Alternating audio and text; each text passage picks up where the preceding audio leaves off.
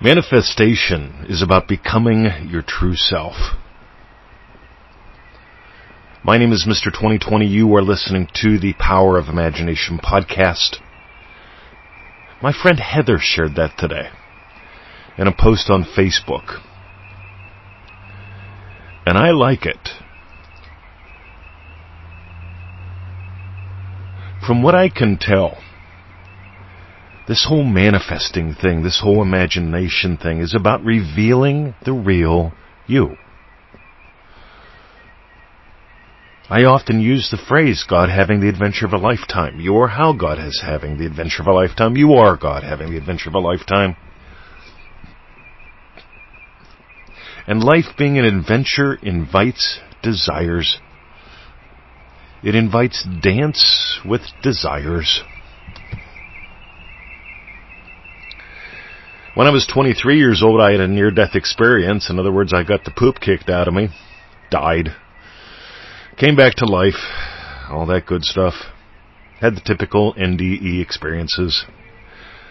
And the thing that has puzzled me ever since has been this the amount of people who never live. Me included. I barely live up to my potential. I'm always playing with possibility more and more every day and inviting you to. And what's life if if you're not playing with possibility, you are settling for probability. And you're probably not finding all that satisfaction. You're probably not finding satisfaction much of anywhere if you're settling for probability. But the world of possibility, it's like Disneyland every day.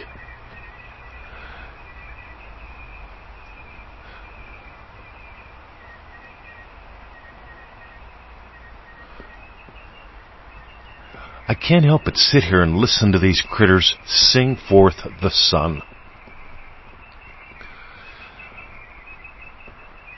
My Native American mentors taught that the songbird sings a song of thanksgiving that lifts the sun up into the sky. It's not light here yet, but there's a little bit of lightness in the sky. In other words, the songbirds are singing their come on, we made it. Hoo-ha, thank you, here it comes. It's going to be a glorious day. They survived the night. And they get to explore the day. Neville Goddard says we give ourselves the furnaces of affliction. And we do. Because they invite you to explore the real you. Who here hasn't had a setback? A stumble. Who here hasn't stubbed their toe? Grandpa used to say, Do you know the purpose of your left pinky toe? I said, No, sir. Because I knew it was coming. So the purpose of your left pinky toe is to tell you where the corner of the furniture is. I got it. Happens all the time. Well, not all the time, but once in a while, doesn't it? See, we talk about risk.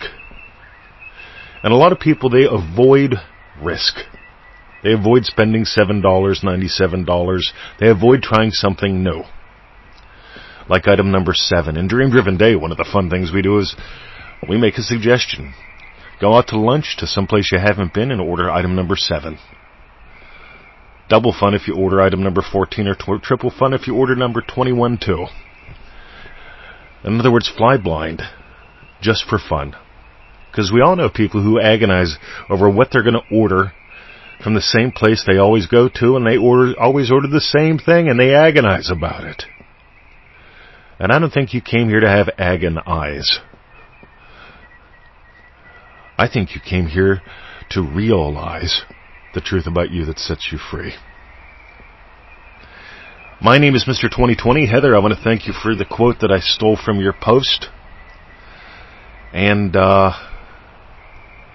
I am so fortunate to have surrounded myself with such lovely people. That's what I got. Dive deeper, soar higher. Let's imagine up something lovely now as we enjoy the bird song and go into the silence.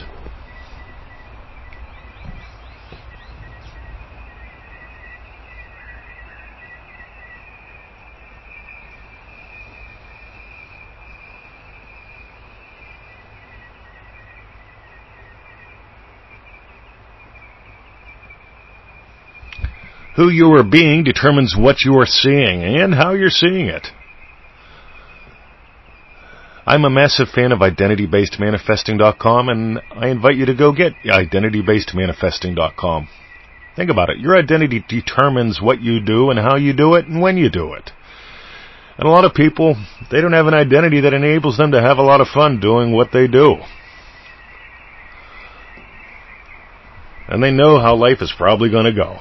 I invite you to engage possibility today with identity based manifesting. My name is Mr. 2020. You are listening to the Power of Imagination podcast. If this gives to you, feel free to share it.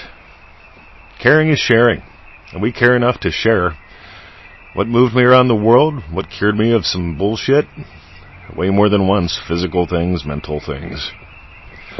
And I just want you to live instead of settling for a near life experience. Let's go all out, shall we? Have a great day. Dive deeper, soar higher. See ya.